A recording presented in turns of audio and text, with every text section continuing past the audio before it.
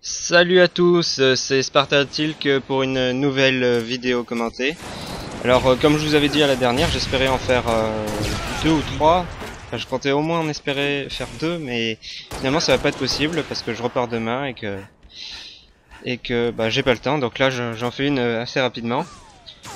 Et donc voilà, ça va être une belle partie que je vous invite à voir. C'est donc c'est sur la carte. euh, je sais même plus le nom de la carte. Euh, attendez, si je me rappelle. Atom, voilà. Très très subtil le nom, comme euh, beaucoup de cartes. Des fois le nom des cartes, tu sais pas pourquoi elles s'appellent comme ça. hein. Sur Halo 2, il y en avait une, elle s'appelle Sorcier. Je sais pas trop ce qui était sorcier dedans. Mais c'est pas grave, on s'en fout. Puisque on est sur Halo à présent. Donc Atom, euh, on peut dire que c'est des recherches euh, Forerunner. Enfin j'aime bien cette carte, hein, moi perso. Les cartes en forge, je les aime bien. Elles représentent euh, relativement souvent quelque chose. Là par exemple, Atom et tout. Peut-être que les Forerunners faisaient des recherches sur l'énergie à fusion. Enfin des trucs comme ça. Enfin moi j'ai beaucoup d'imagination pour, plein de choses. Alors pour moi c'est pas difficile de trouver un scénario à une carte. Et surtout une utilité pour, euh, pour les Forerunners parce que tout ce qui est euh, forge, c'est- c'est principalement fait pour les Forerunners. C'est vrai que généralement on se bat pas dans les maisons Forerunners. Ce serait marrant de se battre dans une maison Forerunner. Se balancer des, des bouteilles de vin Forerunner à la tranche de l'autre. Mm, Ou pas en fait, hein, c'est ouais, ou pas. On pourrait péter les bouteilles de verre Forerunner avec... euh, Dommage pour la grenade, hein, ça aurait pu pu faire. Donc, euh, on est dans l'équipe bleue et et on va voir vraiment une, belle partie. Euh, donc, euh, il y a des gens qui, demandent du DMR, des trucs comme ça là. Et ben, à mon avis, c'est cette, partie vous plaira assez. Voilà, donc franchement, voilà, donc euh, j'ai pas le temps pour les autres. Donc euh, ceux qui ont envoyé des, vidéos, désolé pour vous, mais enfin voilà, va falloir attendre un peu plus. Je rentre dans trois semaines, et dans trois semaines, euh, je vous promets que j'essaie d'en faire euh, au moins une tous les deux jours, voire tous les jours si je peux. Voilà, donc j'essaie de, j'essaierai d'en faire le maximum. Par contre, vous me paierez les coca parce que ça donne soif de parler. Hein.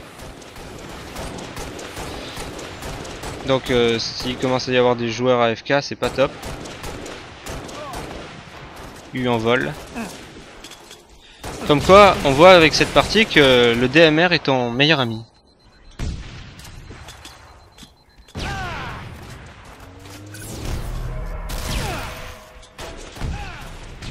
Alors donc, euh, jusqu'à présent, il n'est pas encore mort.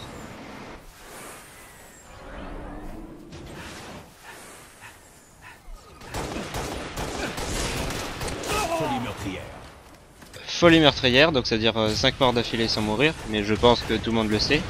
Et euh, franchement, l'équipe rouge se fait assez défoncer, puisqu'il y a 27 à 8 ou à 9, je vois pas très bien.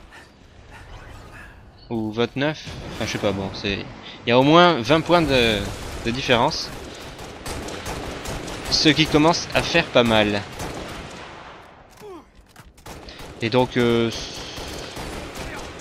c'est du Team Slayer, il, me semble. hein. Je... Je sais, je, je, sais pas pourquoi, mais je regarde jamais ce que c'est les types de parties quand je regarde la vidéo. J'ai regardé la vidéo, à deux trois moments j'ai dit ouais joli, pas mal, euh, mais à aucun moment j'ai pensé à regarder la, vidéo. Franchement, il y a des trucs, euh, comme je le fais un petit peu rapidement, quoi, je, il y a plein de choses que j'oublie. Enfin, tant que j'oublie pas après de la mettre en ligne, euh, ça devrait aller. Je vois encore sur, euh, sur des forums régulièrement les, gens qui parlent euh, BR versus euh, DMR, c'est quoi le meilleur et tout. Bah franchement quand on les regarde les deux, elles sont à peu près les mêmes. hein. Il n'y a pas, y a pas, franchement il n'y a pas de, il n'y a pas à, à tortiller du fion, c'est les mêmes armes.